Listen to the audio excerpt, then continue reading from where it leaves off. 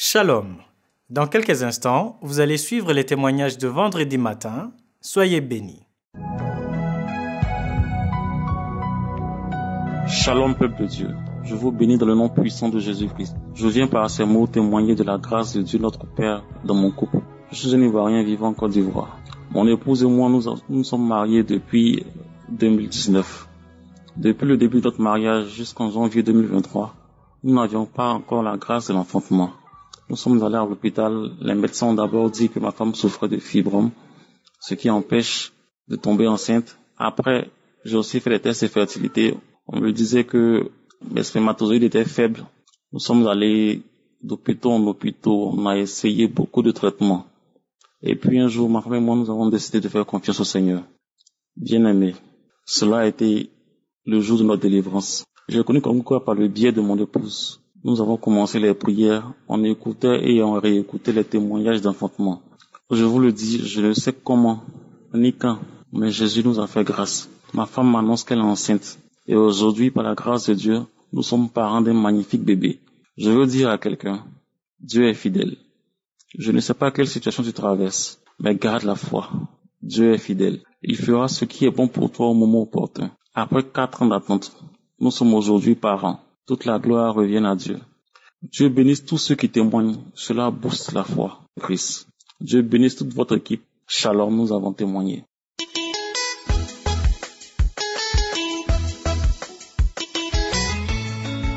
Shalom, frères et sœurs en Christ. Je viens témoigner la grandeur du Seigneur dans ma vie. Je suis une Togolaise résidente à Lomé. Le Seigneur m'a béni. Le Seigneur a essuyé les larmes de mes yeux après six ans d'attente. J'ai reçu l'émission Kamoka par le biais d'une cousine. En effet, moi et mon mari étions à la recherche d'enfants. Pendant six ans, on a visité les hôpitaux, les féticheurs, les tradithérapeutes, mais on n'a pas eu gain de cause. En août 2021, quand j'ai reçu l'émission Kamoka de ma cousine, après l'avoir écoutée, je me suis vraiment intéressée. J'ai téléchargé l'application, puis j'ai téléchargé plusieurs émissions des années antérieures. Moi et mon mari, on écoutait, on priait à chaque temps. Et à chaque fois qu'on priait, mon mari mettait sa main sur mon ventre. En juillet 2022, j'ai pas eu mes menstrues. Après, je sentais quelques malaises et je me suis rendue à l'hôpital. Quand je suis rendue à l'hôpital, après les tests, les tests ont révélé que je suis enceinte.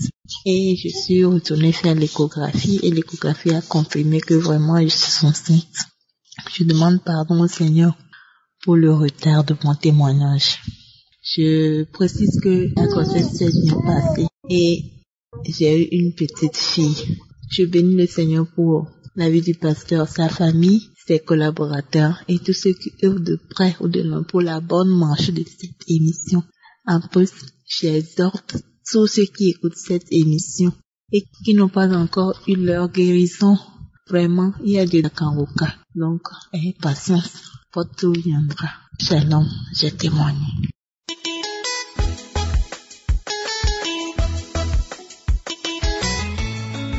Shalom, frères et sœurs, je suis une Burkinabé résidant au Canada. Je viens témoigner de la grandeur de l'éternel dans ma vie. Tout d'abord, j'ai connu l'émission Kangoka à travers une maman camerounaise. Elle m'a revient m'a dit, ma fille, reprends ta vie de prière. Tu as laissé la prière, reconnecte-toi à ton Dieu. C'est ainsi qu'elle m'a partagé l'émission Kangoka. Et j'ai commencé à écouter tous les jours les enseignements quotidiens et les prières du samedi. Faut dire que peu de temps après j'ai commencé à écouter Kangoka, j'ai commencé à avoir des manifestations. Je salivais beaucoup, je crachais, je crachais. Et après ça, c'était les vomissements. J'ai vomi, j'ai vomi. À chaque fois que je mangeais, je vomis pendant trois jours de suite. J'ai rappelé la maman, j'ai dit, ah, j'ai dit, je ne sais pas ce qui m'arrive ces deux jours-là, mais je n'arrête pas de vomir, je crache, je salive beaucoup. Elle m'a dit, ma fille, continue. C'est la prière. Tu es en train de voir ta délivrance. Et j'ai continué jusqu'à l'homme de Dieu avait prié et il a dit qu'il y a un couple, ça fait quatre ans vous êtes mariés et vous cherchez un enfant. que vous alliez avoir un enfant dans le nom de Jésus. J'ai saisi cette parole de vérité. J'ai dit, Seigneur, c'est moi. C'est de moi qu'il s'agit. Il y a une femme qui prie, que ça fait quatre ans que tu es mariée, mais tu vas enfanter au nom de Jésus. J'ai saisi, j'ai dit, Seigneur, c'est de moi qu'il s'agit. Je reçois, je reçois dans le nom de Jésus-Christ. J'ai saisi cette parole et je priais souvent aussi les samedis avec mon mari. Il dit de poser la main sur le ventre. On faisait.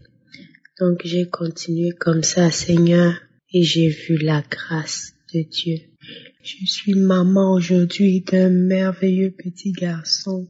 Je rends gloire à l'Éternel pour toutes ces merveilles, tous ces bienfaits dans ma vie. Et avant ça aussi, ma devise de Kangoka, accepter la volonté de Dieu, même lorsqu'elle est différente de la nôtre. J'ai commencé à intégrer ça dans ma vie. Et j'ai cessé aussi de me lamenter parce qu'avant je me lamentais beaucoup j'ai cessé les lamentations et je rendais gloire à Dieu en toutes choses. Quand il m'arrivait une situation, au lieu de me lamenter, au lieu de me plaindre, je glorifiais le nom de l'Éternel. Je disais merci Seigneur. Si cela te convient Seigneur, alors j'accepte. Donc c'était comme ça qu'Anguka m'a permis de retrouver ma vie de prière. Avec Anguka, j'ai recommencé à prier tous les jours, j'écoute les enseignements et Kanguka m'a permis de me reconnecter à mon Dieu. Seigneur, je te rends grâce, je te bénis. Kanguka a beaucoup fait dans ma vie, même dans ma vie professionnelle, ma vie personnelle. Il y avait beaucoup de blocages. Et depuis que j'ai commencé à écouter Kanguka, tout a commencé à se débloquer tranquillement. Alors qu'avant, ça se bloquait, tout était compliqué. Seigneur, je ne pourrais te remercier assez. Merci du fond du cœur. Que la gloire, l'honneur et l'adoration te reviennent pour les siècles et des siècles. Aujourd'hui, me voici maman. Je suis maman d'un petit garçon. Je remercie Christ et toute sa famille. Je remercie toute l'équipe Kangoka. Merci à tous ceux qui permettent que cette émission continue de nous édifier. Merci pour cette émission. Merci pour toutes les personnes qui intercèdent. Afin que ta gloire, Seigneur, soit manifestée. Shalom, j'ai témoigné.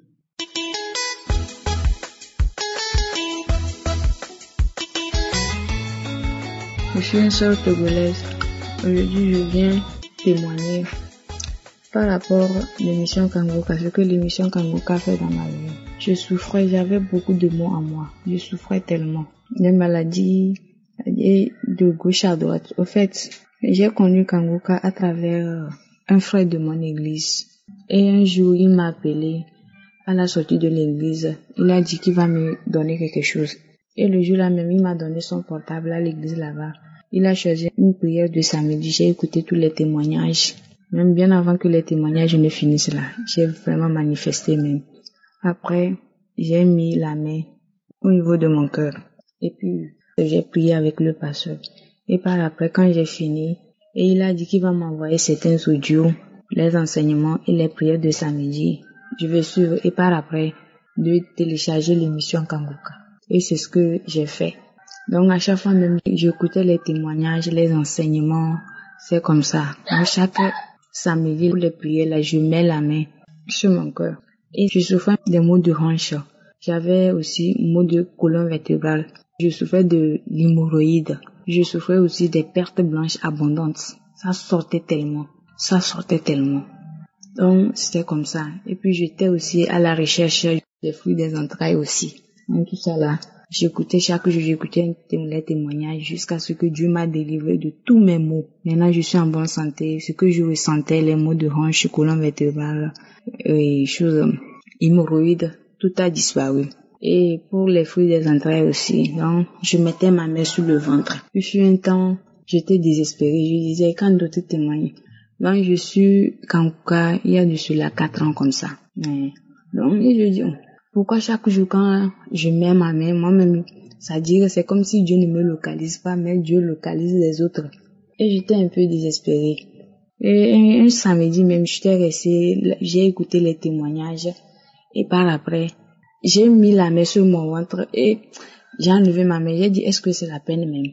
Depuis que j'ai commencé par faire chose là, moi-même, je ne vois rien venir. Si c'est pas la guérison que Dieu m'a donnée.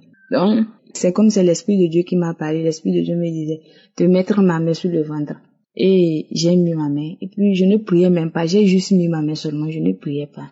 Et c'était comme ça. À chaque fois, je me débrouillais. Je mettais toujours ma main sur le ventre. Et un jour, j'étais tombée gravement malade. Et mon mari m'a amené à l'hôpital. Mais on m'a fait trois secondes. Le même jour on m'a amené à l'hôpital, on m'a prescrit des produits. Et le docteur me demande si je suis enceinte. Je dis non, non, je ne suis pas enceinte. Jusqu'à un mois, deux mois. En le troisième mois là, je ne me sentais pas du tout bien. Pas du tout. J'avais les nausées, je crachais, j'avais les maux de tête, tout ça là. J'ai appelé mon mari, il était au service. Je lui ai dit, en venant, il n'a qu'à m'acheter test de grossesse et amener. Donc, quand il m'a amené, en même temps, j'ai fait test de grossesse. C'est deux trains qui est sorti immédiatement. J'ai dit, hé, moi-même, j'étais étonnée. Et le lendemain, j'ai dit, je vais aller à l'hôpital pour être confirmée, quoi. Et je suis allée à l'hôpital aussi et les sages-femmes m'ont confirmé que je suis bel et bien enceinte. Et ils m'ont demandé de faire l'écho, échographie. Et j'ai fait échographie, je suis allée faire échographie. Et à ma grande surprise, l'homme qui m'a fait l'échographie me dit que je suis enceinte de deux mois et demi. Que tout se passe bien, il n'y a rien d'anormal. Donc je voulais dire vraiment merci à Dieu et merci pour l'émission Kangoka. Vraiment l'émission Kangoka fait beaucoup de choses dans nos vies. Et tout comme le pasteur dit, il faut avoir la foi. Si tu as la foi, la prière sans la foi, ça ne donne rien. J'étais un peu désespérée, mais par après, je me suis ressaisie. J'ai commencé par prier, prier, voilà. Dieu m'a montré que il n'est pas ingrat. S'il fait pour les autres, je veux dire qu'il peut aussi faire pour moi et il a fait aussi. Donc, je dis vraiment merci à Dieu pour la guérison et pour la grossesse qu'il m'a donnée. Je lui rends grâce. Je lui dis merci beaucoup et je dis merci à Christ et à tous les intercesseurs, ceux qui ne cessent de prier pour nous nuit et. Et merci surtout pour sa femme qui l'accompagne aussi dans la prière. Merci aussi pour vos enfants. Que la main de Dieu soit sur votre famille. C'était mon témoignage.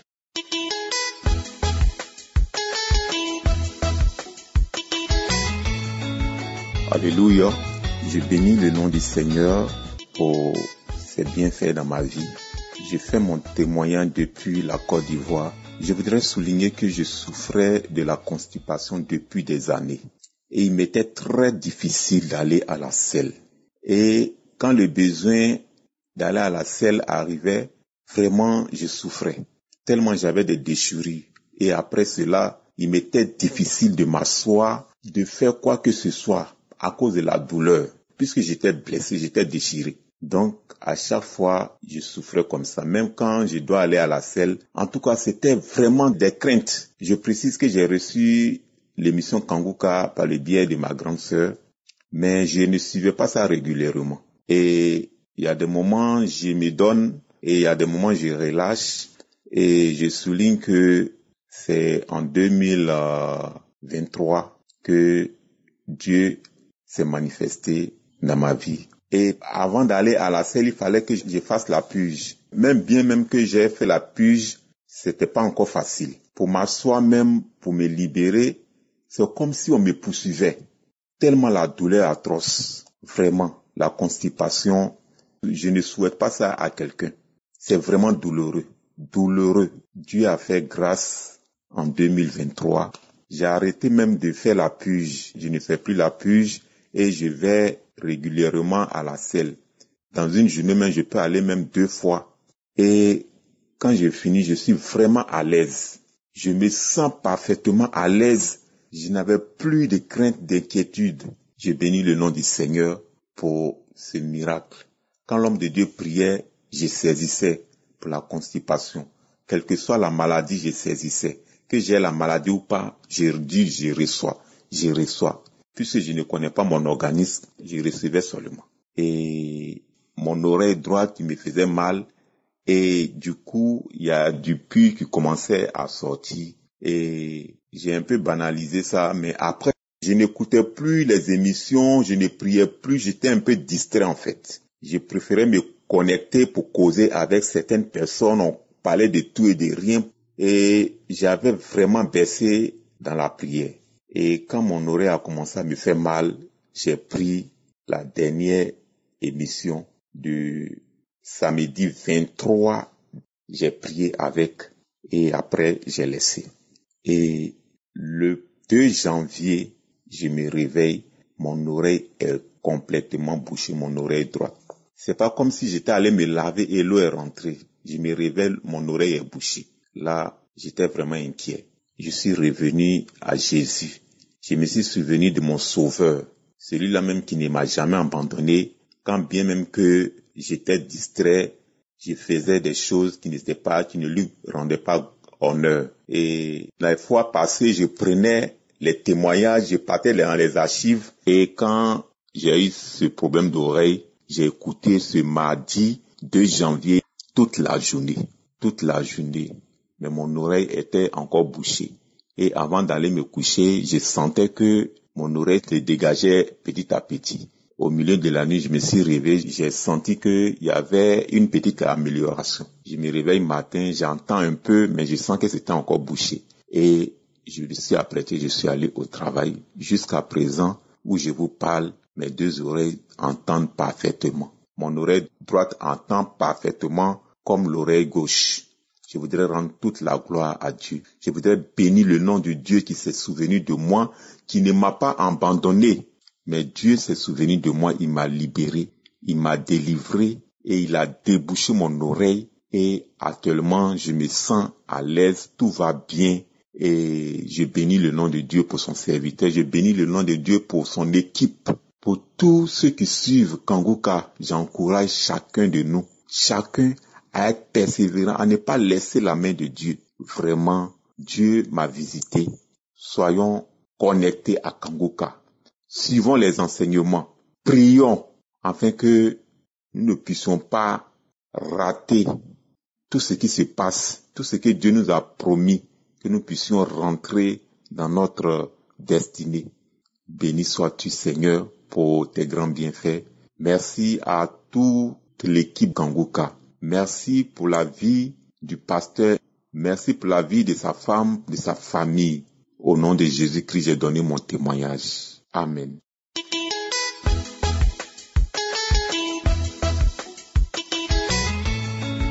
Shalom, peuple de Dieu. Je viens ce matin témoigner la grandeur et la puissance de Dieu dans ma vie. Je suis une Camerounaise vivant à l'est du pays. Je connais Kanguka grâce à une amie. Quand j'ai téléchargé l'application, tous les jours, j'ai suivi les enseignements. Lorsque j'ai mis la prière de samedi, j'ai vomi, j'ai baillé durant deux semaines. Après quelque temps, j'étais hospitalisée avec une douleur atroce. Après avoir fait des examens, la radiographie a découvert que j'avais des pincements lombaires. Je n'arrivais pas à m'asseoir, ni à me lever, ni à me retourner sur mon lit d'hôpital, malgré tout le traitement que le médecin m'avait prescrit. Alors le médecin m'a transféré à Yaoundé pour faire le scanner et la meilleure prise en charge, puisque tout ce qu'on faisait au niveau de Bertois ne donnait rien, pratiquement rien. Lorsque je suis rentrée à la maison, avec toute cette douleur atroce, j'ai mis la prière de samedi, une prière de samedi quelconque. J'ai écouté les témoignages. Au moment de la prière, Christ a demandé de mettre la main là où ça faisait mal. J'ai mis la main au niveau de mon dos. Dès que la prière est finie, instantanément, la douleur que je ressentais a disparu. À l'instant T que la prière est finie, je n'ai plus ressenti le mal. Jusqu'aujourd'hui, ça fait plus d'un an. Oh Seigneur Jésus, oh mon Dieu qui est comme toi Seigneur, le médecin qui guérit sans prendre de l'argent. Ta main puissante m'a guéri. Je dis merci, oh Seigneur Jésus. Merci à ce pasteur que tu as oint. Je dis merci Seigneur Jésus pour tous ses intercesseurs. Je dis merci pour sa famille Seigneur. Protège-la. Protège toute l'équipe Kangoka. Seigneur Jésus, ainsi j'ai témoigné pour la gloire de Dieu.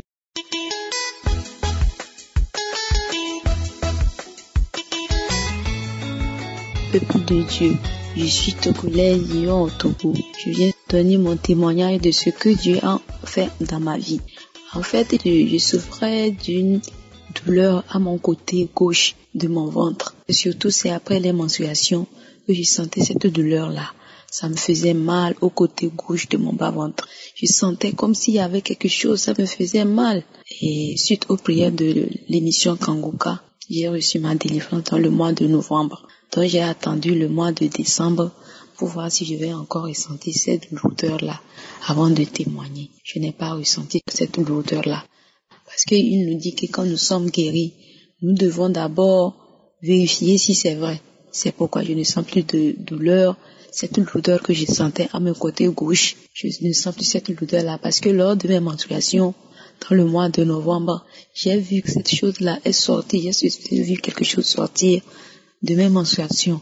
Donc depuis ce temps, cette lourdeur-là, ce détail, cette lourdeur et cette douleur que je ressentais, tout a disparu jusqu'à aujourd'hui. Et je viens aussi ajouter que depuis le mois de janvier, toujours tous ces prêches viennent toujours après nommer à toutes mes questions. Il répond toujours à toutes mes questions parce que l'inquiétude s'installe. Automatiquement, il y a un enseignement qui vient m'éclairer.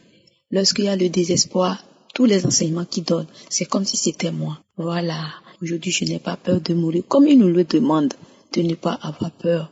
Qu'on a tout. Quand tu as la vie éternelle, c'est que tu auras tout. Aujourd'hui, j'ai joui d'une paix pas possible. Et je ne sais même pas comment je vais remercier le Seigneur. Lui qui a permis, il y a trois ans bientôt, que j'écoute l'émission Kanguka. Lui qui a permis, malgré ce que je suis, que j'appartienne vraiment à cette famille spirituelle formidable je ne sais comment le remercier. Donc je viens laisser mon témoignage pour bénir ici son équipe. Vraiment, votre femme, qu'elle soit bénie, que votre vie soit inondée de grâce, que ce soit les collaborateurs, que ce soit vos enfants, que la gloire revienne à notre Seigneur Jésus-Christ. Ainsi j'ai témoigné. Amen.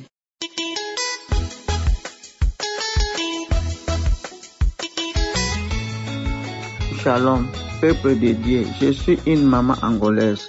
Actuellement, je suis ici en France. Je viens témoigner la grandeur de Dieu. Je demande pardon à Dieu pour le temps que j'ai mis de ne pas témoigner. Depuis 2017, j'étais diagnostiqué de l'insuffisance rénale. Chaque trois mois, on me faisait le contrôle de sang. En 2020, une sœur qui m'a parlé de Kanguka, en me demandant d'installer l'application dans mon téléphone j'ai commencé à suivre les prédications, la prière, les témoignages, ce qui m'a encouragé d'avoir la foi. En 2022, on a fait le contrôle de sang, était négatif. Je remercie mon Dieu par son amour pour ma guérison. Merci à Christ et sa famille. Que Dieu les protège et les bénisse abondamment. Les partenaires et les intercesseurs de Kanguka et leurs familles. J'ai témoigné. J'espère que vous avez été édifiés. N'oubliez pas de cliquer sur la cloche afin d'être averti chaque fois qu'une nouvelle émission est postée. Soyez abondamment bénis.